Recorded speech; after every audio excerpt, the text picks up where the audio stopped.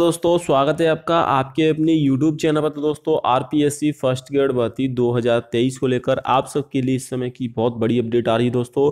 RPSC first grade भर्ती के result को जारी करने को लेकर टू एस गुना कट ऑफ़ क्या रहेगी, क्योंकि दुगुना छात्रों को इसमें पास किया जाएगा, बारह हज़ार विद्यार्थियों को छब्बीस सब्जेक्ट में रिज़ल्ट आना बाकी है दोस्तों। तो आरपीएससी फ़र्स्ट ग्रेड रिज़ल्ट को लेकर शुरू में बात करेंगे। उपेन्द्र यादव ने भी आए लाइव आकर दोस्तों फ़र्स्ट ग्रेड और सेकेंड ग्रेड के रिज़ल्ट पर क्या कहा है पूरी जानकारी इस वीडियो में। तो वीडियो को पूरा ज़रूर देख लेना। साथ में अगर आप चैनल से पहली बार जुड़े हैं, चैनल को सब्सक्राइब नहीं किया तो चैनल को भी सब्सक्राइब कर लेना ताकि आरपीएससी फ़र्स्ट ग्रेड भर्ती की लेटेस्ट अपडेट सबसे पहले मिल सके। तो डोंगर सिंह ने भी ट्वीट करके जानकारी दी है कि पहले स्कूल व्याख्या था इसके बाद सेकेंड ग्रेड भर्ती परीक्षा का परिणाम व नियुक्ति का कार्य किया जाएगा। इसके बाद दोस्तों थर्ड ग्रेड की भर्ती और बजट में जो एक लाख नई भर्तियों की घोषणा की गई, जिसमें कि फ़र्स्ट ग्रेड की भर्ती, सेकंड ग्रेड की भर्ती और थर्ड ग्रेड की भर्ती।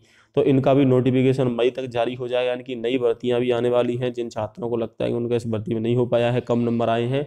तो वो नई भर्तियों की तैयारी भी करना स्टार्ट करते हैं। स्कूल व्याख्याता भर्ती, कई विषयों का परिणाम तैयार हो चुका है। परिणाम इसी सप्ताह में कभी भी जारी हो सकता है। जी हाँ दोस्तों, लगभग छब्बीस विषय में पेपर का आयोजन हुआ था। इनमें से काफ़ी सारी सब्जेक्ट का रिज़ल्ट तैयार हो गया है और किसी भी समय बोर्ड जारी कर सकता है, क्रॉस चेकिंग का कार्य किया जा रहा है। यानी कि रिज़ल्ट में कोई गड़बड़ी है या रोल नंबर गलत है या फिर अन्य कोई सुधार है, वो किए जा रहे हैं। दोस्तों फाइनल आंसर की भी तैयार हो चुकी है। तो आरपीएससी के अधिकारियों ने जैसा कि बताया था कि मार्च के महीने में ही स्कूल व्याख्या भर्ती परीक्षा का परिणाम जारी हो जाएगा और इसी वीक में परिणाम जारी होने की बात कही है। दोस्तों तो ऐसे में आपका रिज़ल्ट इस वीक में किसी भी समय आ सकता है। स्कूल व्याख्या का रिज़ल्ट आएगा, इसके बाद सेकंड ग्रेड का रिज़ल्ट आएगा, इसके बाद थर्ड ग्रेड का। और एक लाख नई भर्तियों का वर्गीकरण कैलेंडर भी जल्द ही जारी होगा। तो दोस्तों, स्कूल व्याख्याता के लिए अगर मैं बात करूँ तो इसमें आवेदन किए थे लगभग छः लाख दस हज़ार विद्यार्थियों ने। उनमें से दोस्तों, यहाँ पर एग्ज़ाम दी थी तीन लाख पचासी हज़ार छात्रों ने, जिनका रिज़ल्ट घोषित होगा।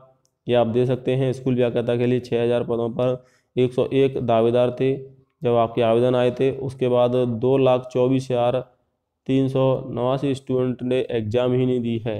तो यहाँ पर आप उपस्थिति देख सकते हैं, तीन लाख पचासी हज़ार रहे हैं, अनुपस्थित दो लाख चौबीस हज़ार, जो काफ़ी ज़्यादा हैं। उपस्थिति ओवरऑल साठ परसेंट रही है दोस्तों, क्योंकि पोस्ट कम थी तो स्टूडेंट ने एग्ज़ाम में नहीं भाग लिया है।